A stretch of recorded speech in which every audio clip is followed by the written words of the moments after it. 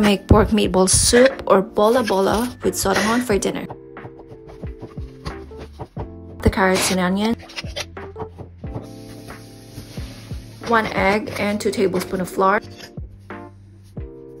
Pork, don't forget to season with salt and pepper, tablespoon of soy sauce, and this is the fun part. Mix it with your hand. Let's start cooking the garlic and the onion. Add some water, pork bouillon, Drop the meatballs once the liquid start boiling. The different kind of noodles for this, I use the sotanghon and the miswa. Finally, don't forget to add the vegetables, season it with salt and pepper, and this is ready for dinner. Enjoy!